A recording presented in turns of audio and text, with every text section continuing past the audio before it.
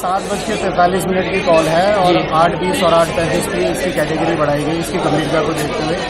Total बाईस गाड़ियाँ अभी मौके पे काम कर रही है। फायर को हमने सराउंड कर लिया है लेकिन अभी आग को पूरी तरह से बुझाने में थोड़ा टाइम